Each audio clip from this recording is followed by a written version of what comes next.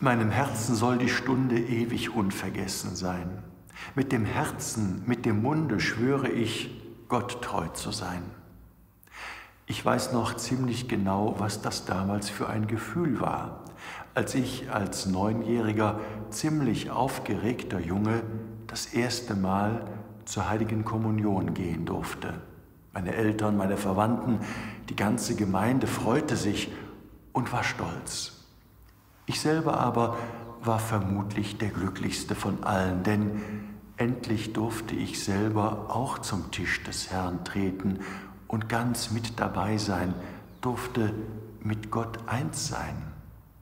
Ja, das war für mich damals ein wichtiger, ein entscheidender, ein geradezu heiliger Moment, den ich bis heute nicht vergessen habe. Und ich bin froh und dankbar, dass ich immer wieder diesen Moment erleben darf, in dem ich Gott ganz nah sein kann, dieses wunderbare Geschenk der heiligen Kommunion. Ich bin nicht nur ganz bei Gott, sondern ich darf Gott sogar selber in mich, in mein Leben aufnehmen. Richtig erklären kann ich dieses Geheimnis unseres Glaubens auch heute, viele Jahre später und selbst als Bischof noch nicht. Aber ich kann es jedes Mal neu fühlen, neu erfahren, wenn ich das Brot des Lebens, den Leib Christi, wenn ich Gott selber empfange.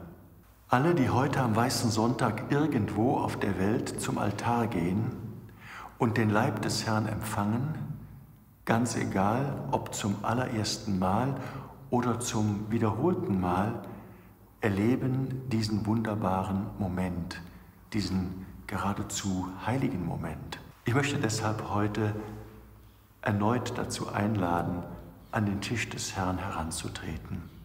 Wir dürfen immer wieder zu Gott kommen. Er will sich uns schenken. Und wir dürfen immer wieder bei ihm sein und mit ihm sein. Und wir dürfen auch immer wieder neu mit ihm anfangen, auch dann, wenn wir ihn aus den Augen verloren haben. Er schenkt sich uns ganz in seiner bedingungslosen Liebe. Er lädt uns immer wieder neu ein, ihn zu empfangen und mit ihm zu sein. Denn Gott will unter uns Menschen sein.